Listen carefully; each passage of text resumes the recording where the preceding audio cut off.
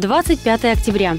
Дмитрий Бойко родился в селе Александровка Азовского района. После окончания в 1937 году Азовского агропедтехникума работал директором школы в хуторе Марков Александровского района Ростовской области. На фронтах Великой Отечественной войны с июня 1941 года.